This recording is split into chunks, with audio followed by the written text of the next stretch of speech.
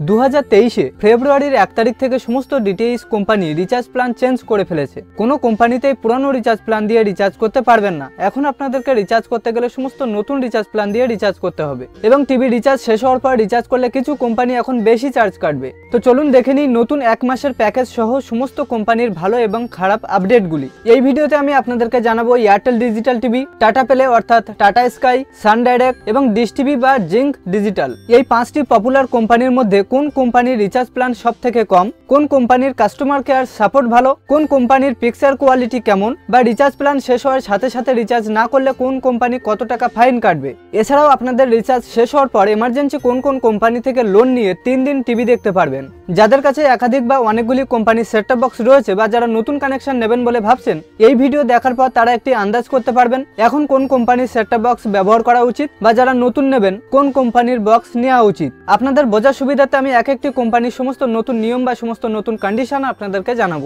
এখনকার সময় যদি আপনারা জেনে শুনে রিচার্জ না করেন, তাহলে আপনাদেরকে এক্সট্রা ফাইন সহ প্রত্যেক মাসে মান্থলি রিচার্জে অনেকগুলি এক্সট্রা টাকা ব্যয় করতে হবে। প্রথমে আমরা জানব টাটা স্কাই অর্থাৎ যেটি এখন টাটা প্লে নামে পরিচিত। টাটা প্লেতে যদি আপনারা সম্পূর্ণ বাংলা চ্যানেলে এক মাসের জন্য রিচার্জ করতে চান, তাহলে আপনাদেরকে সব থেকে কম দুশো ন টাকা দিয়ে রিচার্জ করতে হবে। এবং এই দুশো ন টাকা দিয়ে রিচার্জ করে আপনাদেরকে কাস্টমার কেয়ারে ফোন করে প্যাকেজ তৈরি করতে হবে। কারণ টাটা স্কাইতে দুশো ন টাকা রিচার্জ করার সাথে সাথে আপনার প্যাকেজ চেঞ্জ হবে না। আপনার প্যাকেজ যদি তিনশো টাকা থাকে, তাহলে সেটি দিন হিসেবে চলবে। তাহলে আপনি ষোলো থেকে সতেরো দিন টিভি দেখতে পাবেন। সেক্ষেত্রে আপনারা কাস্টমার কেয়ারে ফোন করবেন, আপনার প্যাকেজ আপডেট করে নেবেন। টাটা প্লেতে যদি আপনারা শুধু বাংলা প্যাকেজ আরও কম টাকার মধ্যে করতে চান, তাহলে আপনাদেরকে নেটওয়ার্ক ক্যাপাসিটি ফি একশো তিপ্পান্ন টাকা এবং এই একশো তিপ্পান্ন টাকার সাথে আপনারা আদার্স চ্যানেল অ্যাড করতে পারেন, যেমন Star Jalsha Jalsha Movies Colors Bangla তো এই একশো তিপ্পান্ন টাকা এবং যে চ্যানেলগুলি অ্যাড করবেন, সেই চ্যানেলের টাকা টোটাল অ্যাড করে আপনাদেরকে মান্থলি রিচার্জ করতে হবে এবং প্রথমে আপনাদেরকে কাস্টমার কেয়ারে ফোন করে আপনাদের প্যাকেজ চেঞ্জ করতে হবে।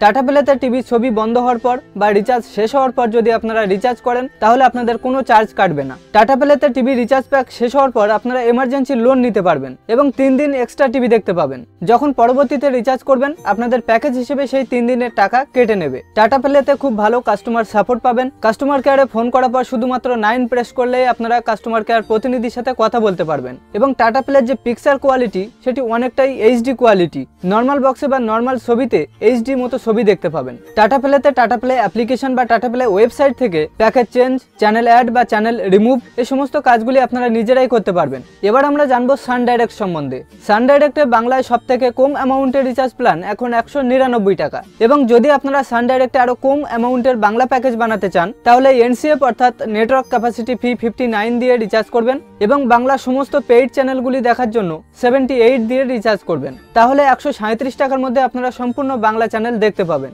এবং যদি আপনারা ফিফটি নাইন দিয়ে রিচার্জ করে শুধুমাত্র ফ্রি চ্যানেলগুলি দেখতে চান, তো সেটিও দেখতে পাবেন। সান ডাইরেক্টের সেটটপ বক্স বন্ধ থাকলে রিচার্জ শেষ হওয়ার পর রিচার্জ করলে বা টিভি ডিঅ্যাক্টিভেট হওয়ার পর রিচার্জ করলে কোনো ফাইন কাটবে না। সান ডাইরেক্টে কোনো এমার্জেন্সি লোন পাবেন না। টিভি রিচার্জ শেষ হয়ে গেলে আপনাদেরকে রিচার্জ করতে হবে। সান ডাইরেক্টেও কাস্টমার কেয়ার সাপোর্ট ভালো পাবেন, কিন্তু সান ডাইরেক্টে বাংলা কাস্টমার কেয়ার সবসময় অ্যাভেলেবল থাকে না। হিন্দি কাস্টমার কেয়ার সবসময় অ্যাভেলেবল পাবেন। আপনারা কাস্টমার কেয়ারে কথা বলে বাংলা প্রতিনিধিকে কল ট্রান্সফার করতে বললে তারা কল ট্রান্সফার করে দেবে। সান ডাইরেক্টের নর্মাল প্যাকেজে মিডিয়ামের থেকে একটু ভালো কোয়ালিটির ছবি দেখতে পাবেন। টাটা প্লে বা এয়ারটেলের মতো ছবির কোয়ালিটি পাবেন না। এবং সানডাইরেক্টে সানডাইরেক্ট সান ডাইরেক্ট ওয়েবসাইট বা সানডাইরেক্ট অ্যাপ্লিকেশনের মাধ্যমে আপনারা channel add remove package change এগুলি করতে পারবেন। সানডাইরেক্ট প্যাকেজের দিক দিয়ে সবার থেকে কম। এবার আমরা জানব ডিস টিভি বা জিঙ্ক জিঙ্ক ডিজিটাল ডিস টিভির সাথে যুক্ত। জিঙ্কের সমস্ত রিচার্জ প্ল্যান বা নিয়ম ডিস টিভির মতোই। যে নিয়মগুলি আলাদা রয়েছে সেগুলি আমি আপনাদেরকে জানিয়ে দেবো। ডিস টিভিতে বাংলায় সব থেকে কম অ্যামাউন্টের রিচার্জ প্ল্যান দুশো পনেরো টাকা এবং এখানে এনসিএফ অর্থাৎ নেটওয়ার্ক ক্যাপাসিটি ফি একশো তিপ্পান্ন টাকা। একশো তিপ্পান্ন টাকা দিয়ে আপনারা ফ্রি চ্যানেলগুলি দেখতে পাবেন এবং এই ফ্রি চ্যানেলের সাথে Star Jalsha Jalsha Movies Colors Bangla এইভাবে আলাদা চ্যানেল অ্যাড করতে পারেন। আলাদা চ্যানেল অ্যাড করে প্যাকেজ কমাতে পারেন। ডিস টিভিতে যদি আপনাদের রিচার্জ শেষ হওয়ার তিন দিন পর রিচার্জ করেন, তাহলে এখন আপনাদেরকে পঁচিশ টাকা চার্জ বা ফাইন দিতে হবে। জেনক ডিজিটালের ক্ষেত্রেও তিন দিন পর রিচার্জ করলে আপনাদেরকে একুশ টাকা ফাইন দিতে হবে।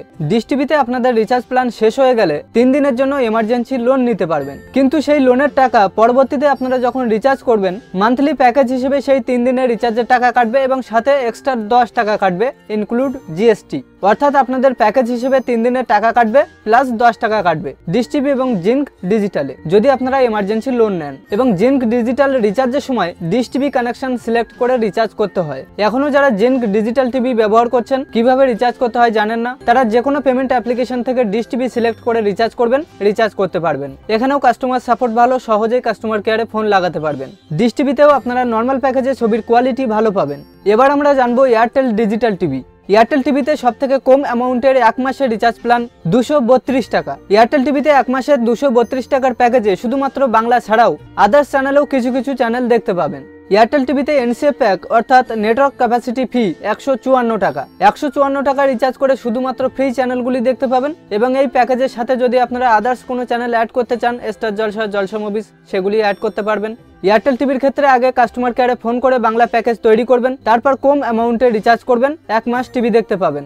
না হলে আপনাদের যদি প্যাকেজ থাকে তিনশোর উপরে এবং যদি আপনারা রিচার্জ করেন দেড়শো টাকা, তাহলে আপনাদের দিন হিসেবে টাকা কাটবে এবং সেই টাকায় পনেরো দিন টিভি দেখতে পাবেন। দিন হিসেবে কাটা যাবে। এয়ারটেল টিভির ক্ষেত্রে যদি আপনাদের সেটটপ বক্স বন্ধ হওয়ার পর রিচার্জ করেন, অর্থাৎ আপনাদের টিভিতে ছবি বন্ধ হয়ে গেল রিচার্জ করলেন, তাহলে পনেরো টাকা চার্জ কাটবে। এয়ারটেল টিভিতে কোনো ইমার্জেন্সি লোন পাবেন না। এয়ারটেল ডিজিটাল টিভির ক্ষেত্রে customer care toll free number one nine eight one nine phone করে আপনারা অপশন চুজ করবেন কাস্টমার কেয়ারে কথা বলতে পারবেন। এয়ারটেল ডিজিটাল টিভির ক্ষেত্রেও কাস্টমার সাপোর্ট ভালো পাবেন।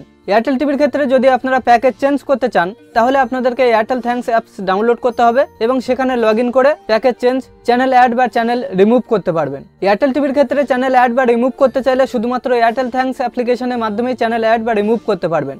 এয়ারটেল ডিজিটাল টিভিতে নর্মাল প্যাকেজেও আপনারা হাই কোয়ালিটি ছবি দেখতে পাবেন। সঠিক প্যাকেজ সহ সমস্ত কোম্পানির ভালো এবং খারাপ দিক আপনাদের সামনে তুলে ধরার জন্য অনেকটাই পরিশ্রম করতে হয়েছে, তো ভিডিওটি ভালো লাগলে অবশ্যই একটি লাইক করবেন। এই ভিডিওটি সম্পূর্ণ দেখার পর আপনারা নিজেরাই ডিসাইড করতে পারবেন কোন কানেকশন নেওয়া উচিত বা কোন সেটআপ বক্সে রিচার্জ করা উচিত। প্রত্যেকটি কোম্পানির কাস্টমার কেয়ার নাম্বার আমি ভিডিও ডেসক্রিপশনে দিয়ে দেবো। আপনারা চাইলে কাস্টমার কেয়ারে ফোন করে ইনকোয়ারি করতে পারেন, কোনো প্রশ্ন থাকলে। তো ভিডিওটি কেমন লাগল অবশ্যই কমেন্টে লিখে জানাবেন বা কোন ডিটেলস কোম্পানির আপডেট আপনাদের ভালো লাগল অবশ্যই কমেন্টে লিখে জানাবেন।